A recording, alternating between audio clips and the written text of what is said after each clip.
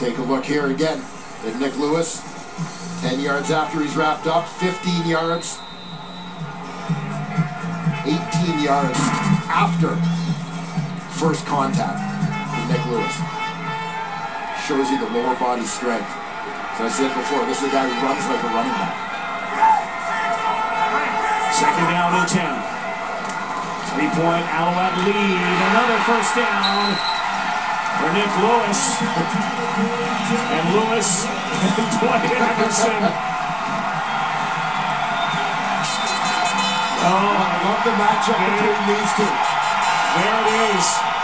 And Nik Lewis has got the crowd into it now. Dwight Anderson, anything you can do, I can do. Anderson starts that, and Lewis starts that. That, my friends, is priceless.